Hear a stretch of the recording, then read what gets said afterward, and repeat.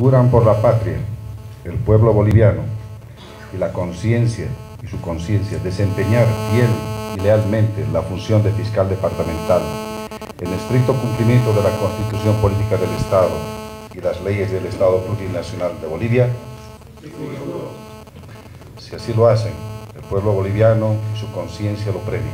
Caso contrario, lo castiguen.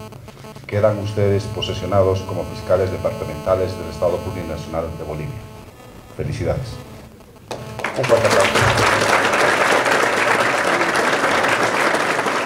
Nos encontramos en una etapa de transformación de la justicia, como se dijo, en representación de los nuevos y flamantes fiscales departamentales, agradecemos profundamente la confianza depositada a nuestras personas por el doctor Juan Lanchipa Ponce, a quien le apoyaremos con mucha responsabilidad, dedicación y compromiso conforme a nuestras atribuciones y, fa y facultades en busca de la humanización de la justicia, en esa labor trascendental que nos toca afrontar. Muchas gracias.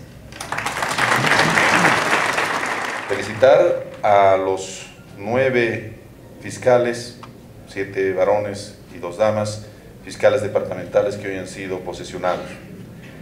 Destacar el hecho fundamental de que muchos de ellos provienen de la lista de los mejores calificados que participaron en el proceso de selección de fiscal general ante la Asamblea Legislativa Plurinacional y figuran en la lista con las mejores calificaciones.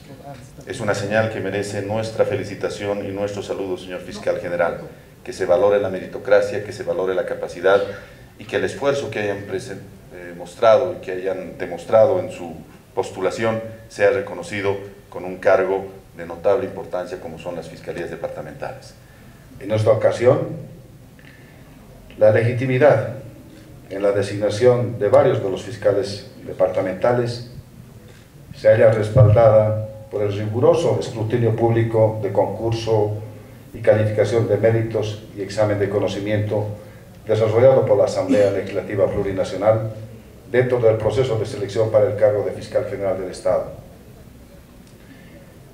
En los otros profesionales la sustenta la formación académica impecable y el desempeño profesional con una conducta intachable.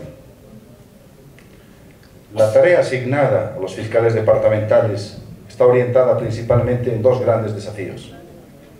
Recuperar la confianza de la población en el Ministerio Público y resolver la carga procesal de más de 236.000